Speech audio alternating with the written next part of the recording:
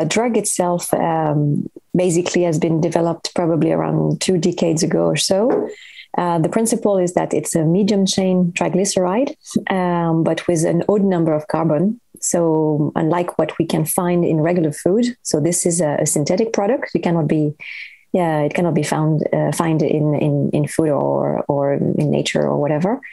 Uh, so it needs to be synthesized, but because of its um, structure with this odd number of carbon, basically it provides not only what we call acetyl CoA, which is a substrate that you get from all uh, lipids and sugars and basically feeding uh, your, your cells and the mitochondria. But you get also, besides this acetyl CoA, uh, what is called propionyl CoA, so something with a, a, three carbon. And this is going to be an intermediate uh, for succinyl CoA, which is another key uh, intermediate for the, the Krebs cycle. So basically, instead of fueling the Krebs cycle with just one angle like regular food uh, does, this compound allows to enter the Krebs cycle at two levels. And so this is why it's called anaplerotic. And so it basically targets specifically the functioning of the Krebs, cycle. And so it's related to basically energy provision to the cell. Um, so the idea to use uh, this compound came from studies actually done initially.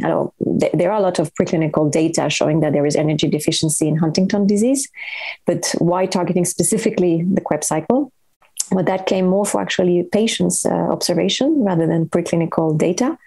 Uh, when we conducted uh, a study um, that was published uh, in 2007, uh, when we conducted a study to look at uh, what was associated with weight loss at the early stage of disease, and actually even in what we call the pre manifest uh, individuals, so people carrying the mutation but who have not yet developed symptoms. We did a, a comprehensive uh, endocrine, immune, and metabolic analysis, including metabolomics. So we look at all kind of metabolites in the blood, and the only thing that could really distinguish the different population of controls versus patients and patients and pre-manifest were actually a decrease of some amino acids so usually some compounds of proteins.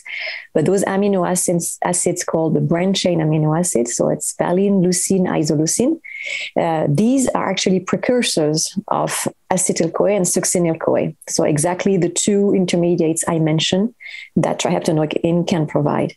So the question was that, I mean, the hypothesis was, and maybe it's not just in the brain, it could be also in the periphery because the huntingtin is also, of course, expressed in the, in the, in the peripheral cells, that the body was trying to compensate for an energy deficiency and probably with multiple causes because the huntingtin uh, protein is playing a role at very different levels of energy homeostasis. But the one way to compensate was to use those uh, specific amino acids uh, to try to provide, uh, provide fuel for the, the Krebs cycle. And so the idea was to then help basically what the body is doing by giving this uh, synthetic oil in order to fuel the cycle just at this uh, two entrance points. So we did a first study uh, uh, initially, um, very shortly. I mean, we, we studied the muscle uh, energy first. So that was also uh, now probably about 10 years ago. So we did uh, an exercise with patients when they have actually to exercise their calf. And there we could measure some phosphorus enriched metabolites that reflect energy metabolism in the muscle. And so we gave them the triheptanoin for a few days. And we saw that in the ones who had an abnormal profile, we had a correction of this this, this profile. So this told us first that, that there could be something on the energy metabolism uh, doing for this population. Then we switched that protocol to the brain. So we use then uh, same type of approach, measuring those phosphorus enriched metabolites in the occipital cortex that we stimulated with a flashing checkboard to do a sort of exercise for the brain. And we could see that again, patients had an, an abnormal profile, and that after one month of treatment, we could correct that and back to the profile of, of controls. Um, but of course, this is saying that it plays on the energy, it's not saying that it helps the disease in other aspects. And so the, the study then we conducted, and so we already had an idea of tolerance and, and acceptability based on these initial studies, was basically a six months. Uh, uh, um, randomized trial where we compared on uh, other aspects of the disease, so especially the atrophy of the caudate uh, in, in the brain, which has been shown to be the most sensitive to change in Huntington disease, including in the pre-manifest population. And the UHDRS, which is a, a, a um, basically a compound score that looks at different aspects of motor function in Huntington disease. And it's a primary in a lot of uh, uh, large trials because you need definitely a lot of patients to show an effect. So we use these two measures mostly to, to see. And so, uh, for reasons that it would be too long to explain, uh, we would have liked to do a one year trial right away because six months is actually pretty short to see an effect on either the caudate or the UHDRS. Uh, so at six months, uh, we, we, we, we saw some trends, including for the UHDRS, but not a definite uh, uh, response.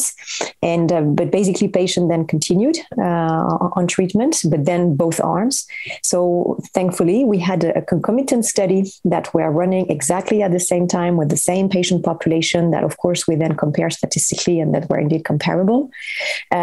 that we're having the same time of procedures, same number of visits, et cetera, et cetera, but testing another drug.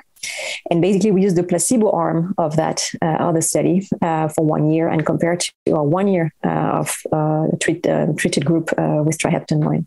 And there we actually could see and confirm that what the trend we had on the UHDRS was confirmed that in the triheptanoin treated group, basically patients almost didn't change. So they varied of 0.7, which is uh, uh, negligible compared to the 2.5, 2.6 actually we observe in the uh, uh, the placebo arm. And, and this is known actually for a lot of other studies in Huntington that the average increase of UHDRS in one year is 2.5. So we could confirm that in our placebo group, but we saw a stabilization of, of that in our uh, triheptanoin treated group. And then when we look at the uh, rate of caudate atrophy, basically when we compare this uh, placebo arm to our, our triheptanoin arm, then we had a 50% decrease. Uh, so it's actually a large uh, uh, reduction of, of this uh, uh atrophy um, in the caudate, and that was highly significant. Because of uh, not knowing initially how patients will react for one year or more of treatments, because it's still some special drug, it's not something you can just take in a pill. it's less invasive than gene therapy on the other hand. So in terms of acceptability actually for patients it happened to be quite okay. And in the end actually the patients did the second year extension and then further. So we know actually that this compound despite needing some uh, diet arrangements is, is really well accepted for a large group of patients. Uh, but because of all this unknown our study was underpowered to de- definitely see an effect on the UHDRS to start with because usually you have to have more than 200 patients per arm.